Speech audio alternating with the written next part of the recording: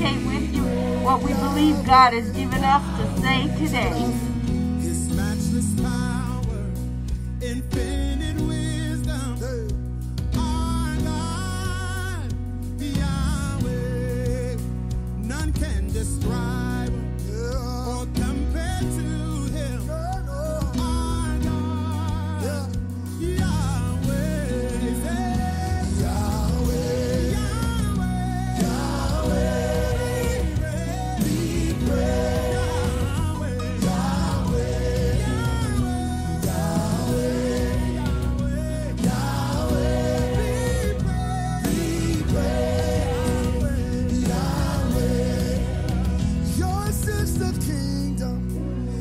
is the.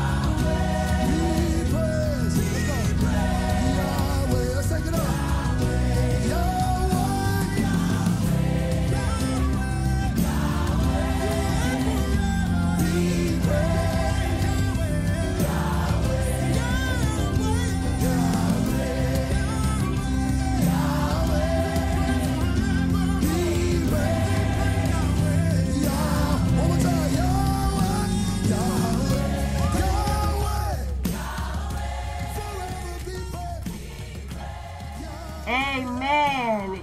Yahweh, Yahweh. Praise the Lord. I love that song.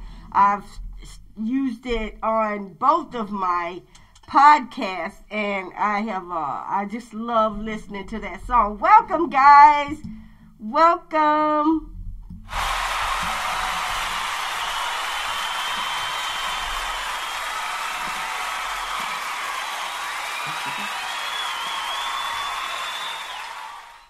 Hey guys, it is Lori and Jackie. and we are here with Transformational Ministries today. This is a ministry where we kind of just uh we just let the Holy Ghost speak. We just let the Holy Ghost speak.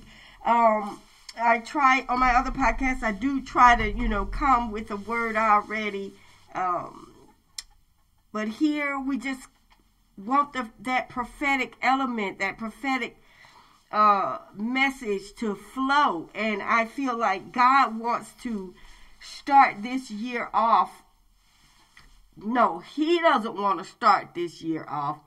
He wants to give you some clarity to start this year off so that you're not doing the same thing that you was doing last year. You have a desire on the inside of you to do something different, but you don't really know how to achieve the goal um, of what it is that you're looking for. But here's the thing.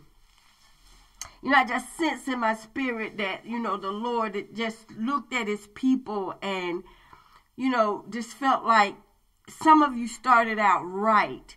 You wanted to bring something to this culture that already exists. You wanted to bring the word. You wanted to bring ministry. You wanted to, you know, get into this culture and try to change it for the kingdom.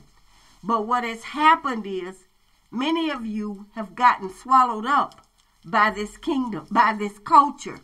And now what you're doing is you're trying to be relevant in a mm-hmm. culture that's not your own. You're trying to be relevant in a world, in a culture that's not your own.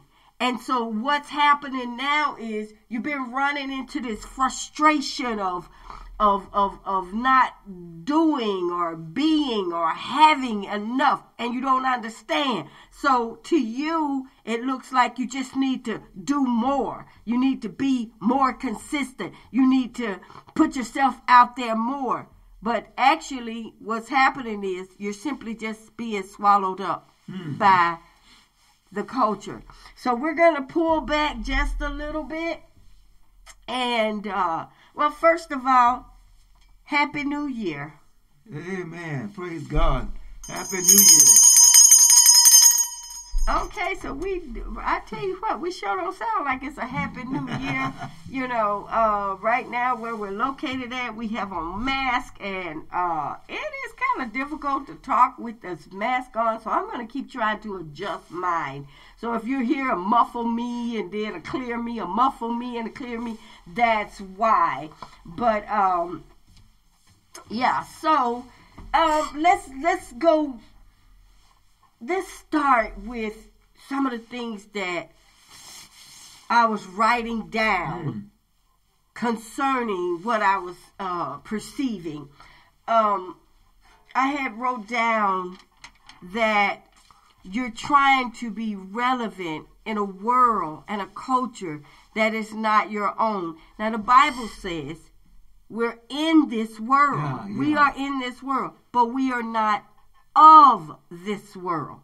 So we're here working on behalf of the Lord. We're here bringing forth the kingdom of God into this world that is dying and in desperately in desperate need of a savior.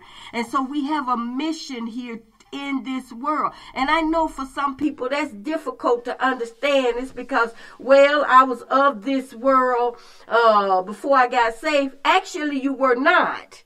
You were not of this world. Because if you were, you would have just been, you would have never come out. But you came out when you heard the call because you're not of this Oh, world. yeah. You belong to the Lord. You've always belonged to Him. You've always been Him. The problem was you didn't know it. You were dead in sin and in trespasses, so you didn't know it. You were in darkness. There was no light. But when the light came, you didn't repel the light. You came, to, the yeah, light. yeah. You came to the light. Now in John uh, three, John three, I think it is John three sixteen. Yeah, down below there, he talked about uh, the people that you know when the light appeared, they they don't want the light. They don't they don't want to be they don't want to because the light they love darkness, and the light shines on darkness. It reveals the you know it reveals Yeah, the yeah. things of darkness, and so they don't want the light. But when the light came, you came to the light, right? So we are in this world, but we're not of it. Mm. The thing is, is now we know that we're not. Um, and this, this, this trying to be relevant in a world and culture that's not your own. Let me tell you what that really means. That means that you're trying to be important. Yeah. You're trying to be accepted. You're trying to be a part of what's going on. That's what you're doing. You're trying to, here you are, born again believer, a child of God, and you're trying to go out here and and and be accepted and be relevant in a culture that was not designed for you. It was not uh, made for you. And here's the thing you're trying to be a part of it, and it's done at the expense of your salvation. Yeah, they said, you know, this culture hates us because it hated him. So it, it also hate us also. So yeah, we, we just like I said, you just come pilgrims passing through this land who does not does not like us, care, not care for our the, the the faithful.